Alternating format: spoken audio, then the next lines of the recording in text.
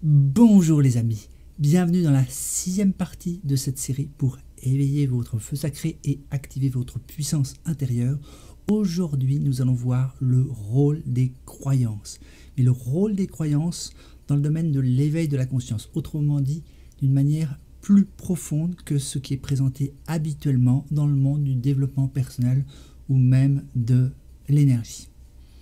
Donc il y a ces fameuses croyances qui constituent un des obstacles majeurs pour révéler ce que nous sommes vraiment, pour révéler cette puissance intérieure. C'est à cause de ces croyances, de certains types de croyances en particulier, que notre puissance est comme enfermée, confinée à l'intérieur de nous-mêmes, à l'intérieur du corps, et ne se révèle pas euh, pleinement. C'est parce que nous croyons certaines choses, mais de manière inconsciente, que quelque part, euh, nous ne sommes pas vraiment alignés avec qui nous sommes, que nous ne sommes pas heureux et que nous n'arrivons pas à déployer notre potentiel. Or ici, il s'agit vraiment de libérer notre potentiel. Donc comment faire? Est-ce que se libérer des croyances de surface, ça va suffire? Donc je vais vous inviter à euh, plutôt à investiguer sur des croyances plus profondes. Alors de quoi il s'agit? Les croyances qui, qui nous enferment, qui limitent notre potentiel, qui, qui empêchent l'expression de notre feu sacré, ce sont les croyances identitaires. Autrement dit, ce, nous, ce que nous croyons à propos de nous-mêmes, ce que nous croyons être.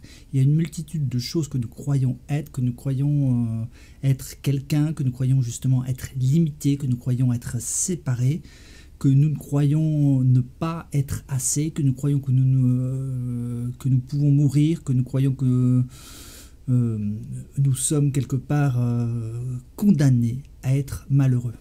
Si vous vous posez la question pourquoi ne suis-je pas heureux? Pourquoi ne puis-je pas réaliser les aspirations que j'ai au plus profond de moi?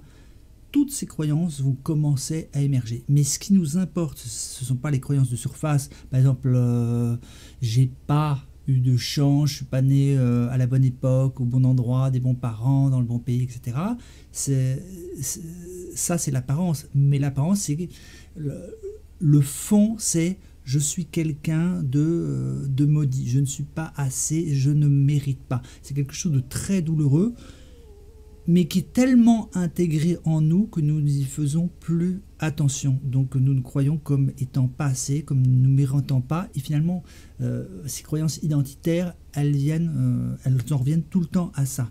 Nous nous prenons pour euh, quelqu'un qui ne va pas pouvoir exprimer sa puissance, qui n'a pas le droit d'être heureux, qui ne mérite pas l'amour, ni d'aimer, ni d'être aimé. Et c'est vraiment à ça, en fait, qu'il va falloir mettre en conscience. Et c'est pour ça que le premier obstacle, c'est nous n'avons même plus conscience que nous avons ces croyances. Donc du coup, euh, notre attention est portée par autre chose, alors que ce programme que mais que nous avons intégré au plus profond de notre mental, de mais de notre être, et depuis fort longtemps, nous avons oublié que nous croyons à ça. Donc c'est devenu une croyance inconsciente, et, et, ça nous semble tout naturel finalement de ne pas déployer notre feu sacré, ou bien nous nous, demandons euh, pourquoi, pourtant la croyance elle est déjà là, mais elle est même plus tellement elle est entrée profond à un stade de conscience où nous ne la voyons même plus. Donc il est temps d'aller la déterrer et c'est pour ça que cette étape, euh, mais, déjà de mettre à la lumière, oui je crois, j'ai intégré cette croyance, mais il y a cette croyance en moi qui s'est imprimée dans, mais dans ce corps euh,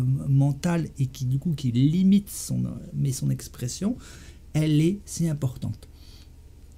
Donc euh, une chose que je peux vous proposer déjà pour euh, commencer, c'est un, focalisez-vous sur ce, sur ce que vous croyez à propos de vous-même plutôt que de se perdre dans toutes les croyances secondaires. Donc c'est ces croyances à propos de vous, sur ce que vous êtes, sur pourquoi vous êtes là, donc sur qui et pourquoi sur, ou sur ce que vous êtes. C'est là où il y a le trésor et les croyances les plus importantes, les croyances identitaires.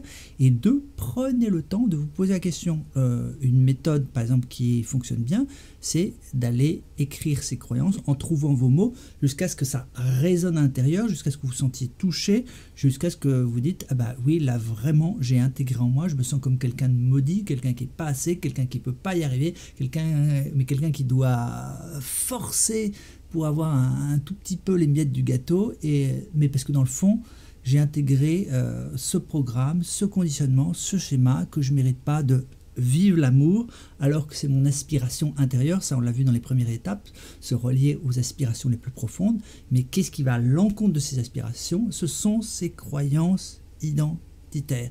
Et donc c'est bien euh, si vous pouvez les écrire, et donc ça, ça remonte progressivement.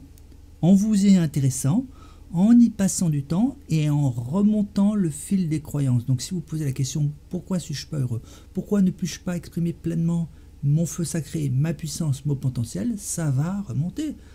Allez-y tranquillement, doucement, dans un environnement détendu, au calme, sans attente que ça ressort, juste allez écouter, qu'est-ce qui me limite, qu'est-ce qui me contient, qu'est-ce qui m'empêche, qu'est-ce que je crois qui fait que euh, là, je ne vis pas l'amour en ce moment, que je ne me sens pas pleinement heureux dans ma réalisation, dans ma puissance, dans mon authenticité, qu'est-ce qui m'empêche de, de, vivre ma vérité, de réaliser ma mission de vie, de m'aligner avec ma raison d'être, il va y avoir peu à peu des choses qui remontent. Et à chaque fois qu'il y a une croyance, une hypothèse euh, qui vient, demandez-vous remonter à la racine, d'où elle vient, quelle est la croyance la plus profonde, la croyance racine. On s'intéresse aux croyances identitaires et aux croyances racines dans ce processus. Donc pas d'investigation de surface sur euh, un tel et un tel, seulement sur vous et sur euh, le fonctionnement, le niveau le plus profond, parce que c'est ça qui va transformer votre vie.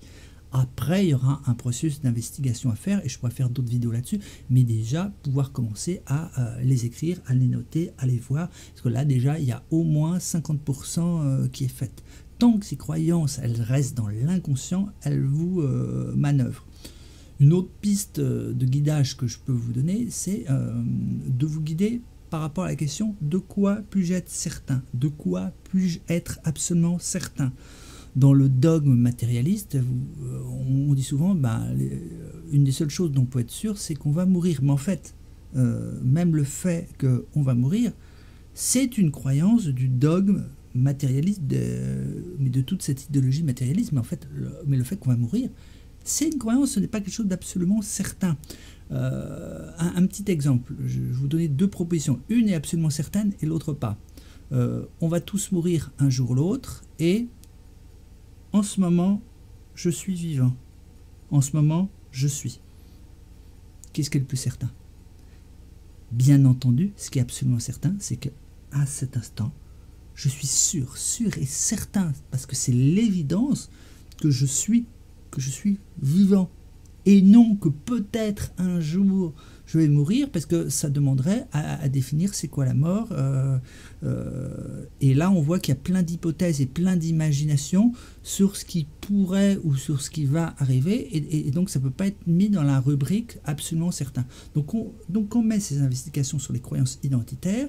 Euh, ça, vous permettre ensuite, dans le début de l'investigation, de séparer tout ce qui est de l'ordre de la croyance, c'est où, je ne peux pas en être sûr, pour aller dans le domaine de la connaissance. Et le domaine de la connaissance, c'est simple. Je ne sais pas ou je sais.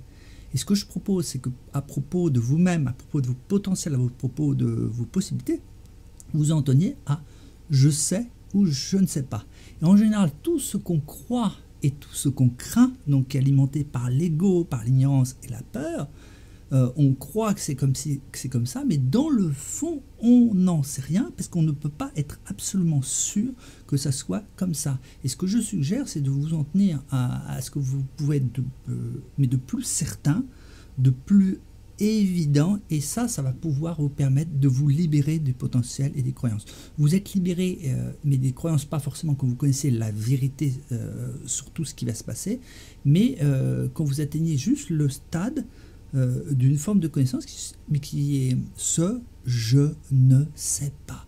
Je n'en sais rien. Et du coup, le champ est ouvert. Donc passer de, mais de l'ignorance avec ses croyances à la véritable ignorance de, mais de sagesse qui est je ne sais pas. Et du coup, il y a ce fameux point d'interrogation. Quand vous êtes dans le point d'interrogation, votre potentiel peut euh, jaillir puisqu'il n'y a pas de croyance qui s'y oppose. Vous êtes quand vous êtes dans le je ne sais pas, vous êtes aussi dans le tout est possible. Et le tout est possible, il est puissant.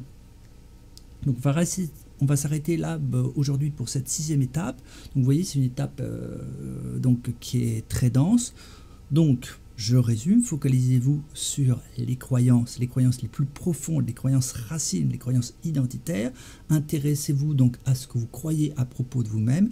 Écrivez-le, mais jusqu'à sentir cette racine. Et en général, ça résonne euh, à un niveau physiologique. Elle vous touche parce que là, vous voyez que vous êtes pris pour quelqu'un qui n'y arrive pas, qui, doit peiner, pour qui c'est dur, euh, qui est maudit. Euh, et qui n'est pas assez, qui doit prouver, qui doit faire ceci, cela. Donc là, vous allez euh, toucher et peu à peu approcher de cette racine. Écrivez là, et puis faites le tri entre les croyances et la connaissance. la connaissance, c'est je sais, mais c'est aussi je ne sais pas. Et plus vous serez dans le domaine de la connaissance, plus vous serez libre des croyances. Donc ça va vous permettre dans l'investigation de passer des croyances à la connaissance, même si c'est je ne sais pas. Et je ne sais pas, c'est beaucoup plus puissant, euh, puissant que je crois savoir, mais dans le fond, en vérité, je n'en sais rien. Ça peut vraiment transformer votre vie. Donc on reviendra là-dessus, déjà expérimenter euh, et puis partagez-moi en commentaire ce que vous, vous en pensez, quelle est votre expérience, euh, est-ce que ça vous a aidé, est-ce que vous avez pu identifier une ou plusieurs de vos croyances identitaires racines. Et on se retrouve très bientôt pour la septième et dernière étape pour éveiller votre feu sacré.